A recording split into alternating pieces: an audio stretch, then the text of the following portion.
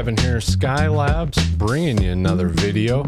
Definitely gonna be a fun one. In this video, we're gonna get into the biggest secret in vintage hi-fi, and that is Harman and Kardon.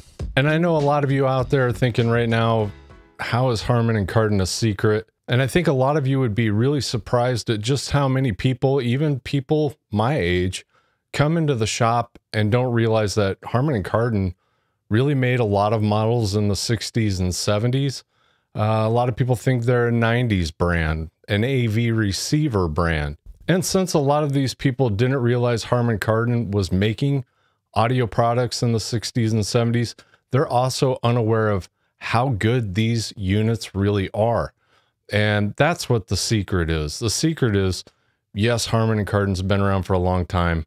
And yes, they definitely made some of the best stereo equipment available in the 60s and 70s. And even throughout the 80s, Harman and Kardon made some really nice equipment.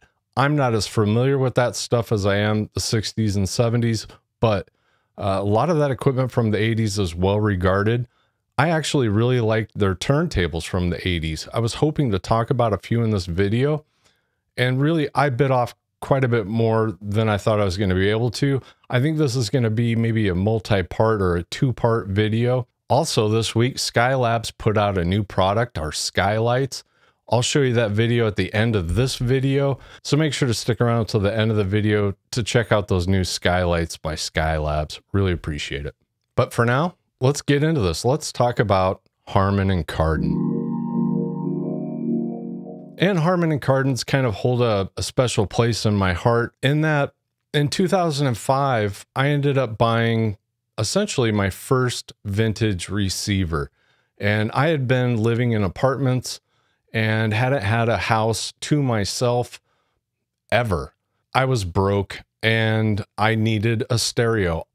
I still had my Cerwin Vega AT15s that I bought new in like 90, 91, somewhere in there.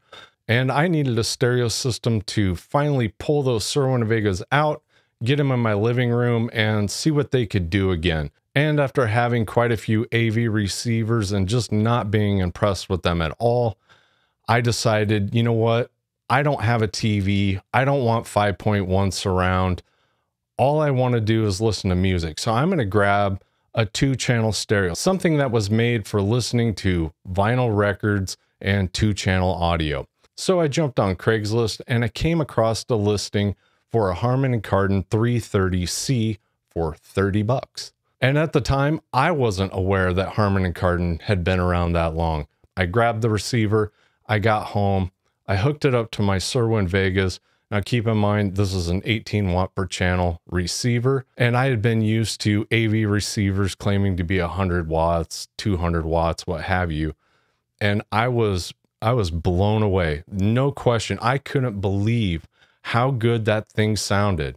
I realized something that I didn't know was going to change my life, and that the stereos that I was used to, or the AV receivers that I was used to, sound like shit. I mean, they really do. The AV receiver I bought with the Cerwin Vegas was a Pioneer VSX, I think it was a 9700 or a 9400. And I've actually picked up a few of those over the years and plugged them in for nostalgia purposes.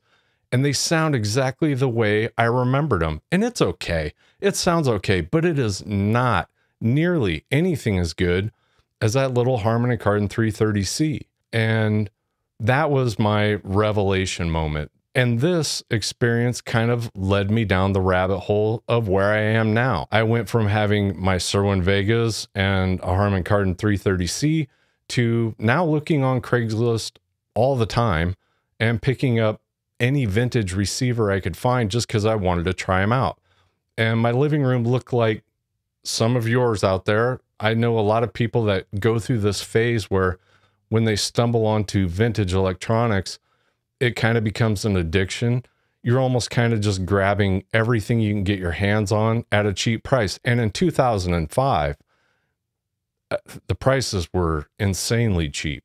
You know, I didn't pay more than 80 or 100 dollars for anything. So I was able to try a lot of the stereo equipment. And that really is what led me to opening Skylabs in a roundabout way. It really was that Harman Kardon 330C that kind of showed me the light in what two channel stereo can sound like for a really reasonable price. And it's still reasonable today. Once that revelation happened, there was no turning back. I couldn't stop. I couldn't stop reading. I couldn't stop looking. I couldn't stop buying this equipment. My house looked like our showroom at several points in life. Eventually, my wife and my girlfriend at the time you know, it was getting a little bit out of control. Although she was more than understanding of my hobby, she knew how passionate I was about it. I couldn't help it. There was nothing I could do. It just kind of took over everything. Really, that's my introduction to Harman and Kardon. They really are an amazing little receiver for something that's rated at 18 watts.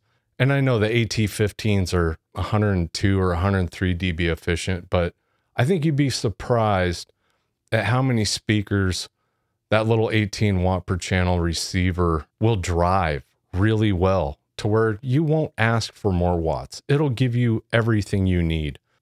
Enough about the 330. Um, that's just my introduction to Harman and Kardon.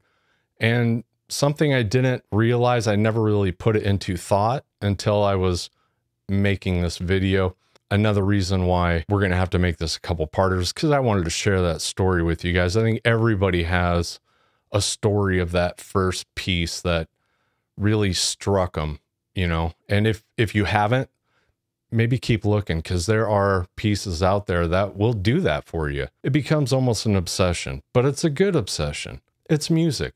It's good for the soul. Good investment. Always. And while my plan was to start with some tube equipment, we'll have to save that for the second part. Uh, the Citation II needs to be mentioned. The amplifiers like the 12 and the 16 need to get talked about. The Model 11 preamplifier, those are all things that I wanted to talk about in this video, and we just don't have time. I ended up stumbling on some really good guides by a moderator and a staff member of Audio Karma, and his handle is D Lucy. And this guy's really done a great job of kind of presenting the history and these different models and the variations. And I realized there were some things that, you know, I didn't want to glance over when talking about these. So if D Lucy's out there watching, I'll do my best to do your information justice. And D Lucy kind of broke down the solid state 70s receivers in four categories. And we're really only going to talk about three. And that would be starting off with what he calls the nocturne era. And the receivers in the nocturne era are ones that I am not super familiar with. We've only had a couple of these, and they were the spelled out 330s. I haven't seen the other ones in person. These are the early 70s and late 60s Harman and Kardon solid state receivers. And like Pioneer and Sansui and everybody else, you know, this was kind of new technology and I kind of got a feeling they were plagued with problems. Technology really advanced quite a bit, you know, just in five, six years. It's no different than, you know, LED TVs and everything else. Engineers figure out ways to make things perform better, use less parts, less complicated, more reliable. And solid state electronics was the same thing the early solid state receivers, whether it was Pioneer, Marantz, Sansui, Harmony Kardon, doesn't matter. Um, they were a little bit on the complicated side.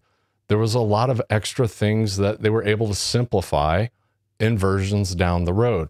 So the late 60s, early 70s models, you just don't see them as often. Um, these are really cool looking receivers. The couple 330s that we did have, I thought sounded great they didn't necessarily grab me. I don't think there are a lot of them out there. I don't think there's a lot of parts out there for them either. So just keep that in mind if you are going to pursue a nocturne era Harman and Kardon. I'm not saying they're bad. I just like stereo equipment that's reliable and has readily available parts. So that kind of takes me out of this era of Harman and Kardon. And the next era, according to DeLucy, would be the minimalist era. And included in this era would be the, the 230, the 330, the 330A, B, and C. And really, this ranges from 1970 up to 1978. And the 230 is kind of the outlier here, uh, coming in at 15 watts, where the, the 330 models from the 330 all the way through the 330C, um, they're right around the 18 to 20 watt per channel range. And I've never seen a 230.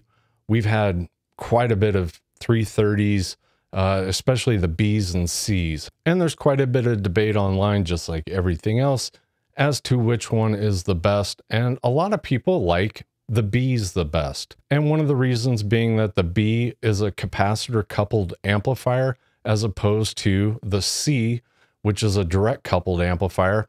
And a lot of people think the cap coupled amps sound more tube like, but really that's just personal opinion and personal taste. The other thing that the B has over the C is it does have pre out and main ins. And this is something you usually do not see on a receiver with this few of watts. Usually they keep the pre-out main ins for the the receivers further up in the line with more power, more features, that type of thing. But Harman and Kardon did include it in this era of their entry level receivers. With the C, it doesn't have the pre-out main ins. And you might say, well, what's so special about the pre-out main ins? Well, there's a lot of things. You know, you could either use this to go into a separate amplifier. You could go out of the pre-out into an amplifier and just use the preamp and tone controls of your 330B. Or if you wanted to run a subwoofer, this would be a good way to run a subwoofer. So having that pre-out main in just kind of opens up the possibilities for other things you can do with your stereo if you need more power or if you want to add a subwoofer or an EQ, or there's actually several reasons you might want to have those pre-out main ins. Just more options. And the next group or the next era of receivers in DeLucy's guide would be the Twin Power series. And in this line, you have four receivers, and that would be the 430, the 630, the 730, and the 930. And this is where Harman and Kardon in my opinion, really gets kind of special in the world of 70s stereo receivers. In that a dual mono or twin power amplifier is quite a bit more expensive. And really because a power supply is a huge cost to an amplifier, and having two of them doubles your cost. So while other manufacturers really only put dual mono power supplies in their high end integrated amplifiers or power amplifiers, Harman and Kardon decided to do this with even an entry level receiver like a 430, which is the baby of this line. And then it goes all the way up to the 930. And this line was manufactured between 1973 and 1978. From the baby, the 430, all the way through the 930, all of these units are dual power supply, and that is very unique. I honestly don't know of any other receivers in the 70s from Pioneer or Sansui, um, the major brands that did a dual power supply receiver, let alone a 20 watt per channel receiver. It's almost kind of unheard of. But I think Harman and Kardon was really going for that. We're going to give you the best quality, and we might scale back or cut back on some of the cosmetic features.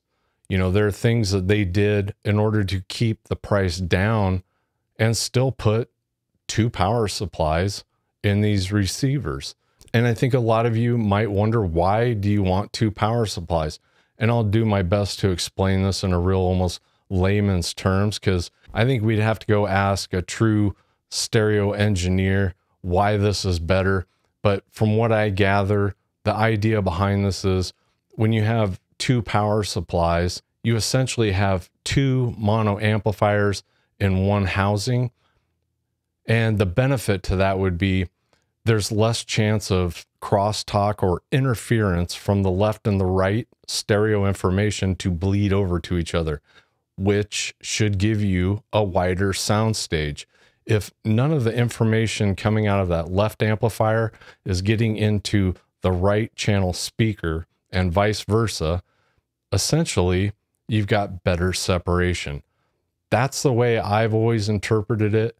There might be noise or interference reasons why this is better, But I think the main selling point was what I just explained, and that is for better stereo isolation and separation. So whether you are or not on board with that might be a reason why you might want to check out a Harman and Kardon twin powered receiver to see if you get a better sound stage. As I do think a lot of people really value what kind of sound stage a receiver is delivering. Otherwise, in other brands, there are lots of integrated amplifiers and amplifiers that are either dual power supply or mono blocks, even where it's two different power supplies in two different chassis, which in theory should be even better than two power supplies in the same chassis. And personally, I think if you have a chance to pick up any one of these, I would definitely look at the 730 Twin. I think it's the favorite out of this lineup for me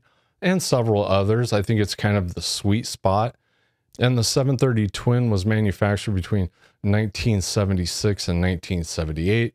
You got 45 watts per channel, and you have a lot of inputs. Uh, you've got two phonos, you have four line levels, So two auxes and two tapes. And then you also have your pre-out main ins and then your two sets of speakers. So for a 40 watt per channel receiver, I think it's going to be tough to find another receiver that has this many ins and outs, which is definitely unique. The other thing with Harman and Kardon that we definitely need to talk about with this era is their excellent design and that these are really easy for a technician to navigate and service. Everything is laid out really well. You don't have to move boards aside to get to other boards. And it just makes working on these a lot more palatable than maybe some of the other units where there were a lot of boards crammed into a small space. Harman and Kardon really simplified everything and laid things out really nicely in order to be able to be serviced. And maybe that's some of the reason why there are still quite a few of these out there. They're not as rare as a lot of people would think, considering a lot of people don't realize Harman and Kardon made receivers back in this era. So I think a lot of that has to come down to the fact that they were built so well, they stayed working a long time, and technicians like working on them because they're kind of easy to work on. So you put those things together and you have a lot of units available for sale today. And you do with Harman Kardon. These are still really undervalued, in my opinion. I think if you take any one of these receivers watt to watt and you compare it with a, a Pioneer, Sansui, Yamaha, or Marantz from this era, I think you're still getting a bargain. And that's why this video is named what it is, which is the biggest secret in 70s vintage audio.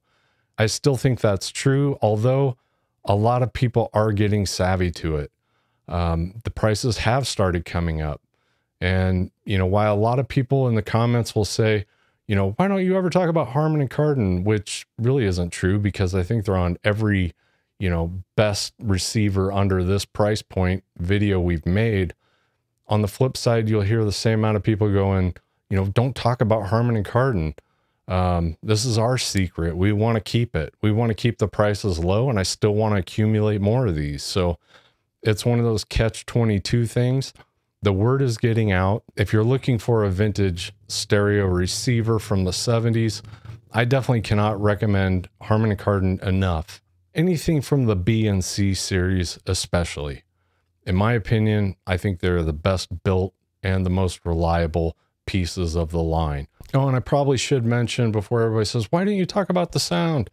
Um, a lot of people think that the 730 twins or the twin amplifiers, this series of Harman Kardon, everybody likes to say, well, it's real tube like. And I don't agree with that at all. Um, I think these are really punchy, uh, almost neutral sounding. I don't think there are any big peaks or dips in the frequency response of these. I think they it's a real natural sounding amplifier. And that's what I like about it. I like things to be even a little bit on the clinical side. I like things to be neutral, at least from my amplifier. I'll let my speakers color the sound if I need some color. Um, if I want more color, I'll get I'll get my tube amplifier out. But for solid state, I like neutral. It's almost a blank canvas.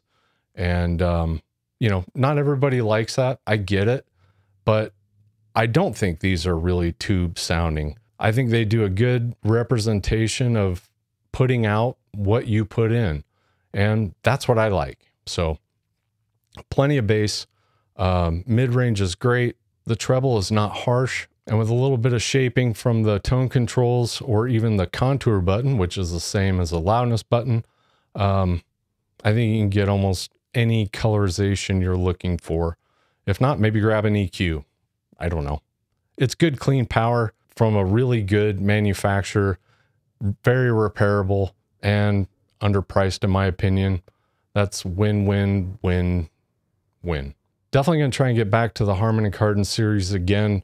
Um, the the amplifiers from this era are really important. There's a lot of them out there again because they are so good and so repairable. So we definitely need to talk about those, but we'll save that for another video. Thank you for sticking around. Definitely check out this one minute little video showing our new Skylab skylights. And really, this is an LED kit that you can put on your Fluance, U-turn, uh, the Marantz TT15 turntable it fits on. Make sure you look at the measurements on the website before you purchase one for your turntable to make sure it will fit. But for those of you that have an acrylic platter and would like to add a little bit of lights to your ambiance, um, I think these kits do a great job. Thank you so much for watching another video.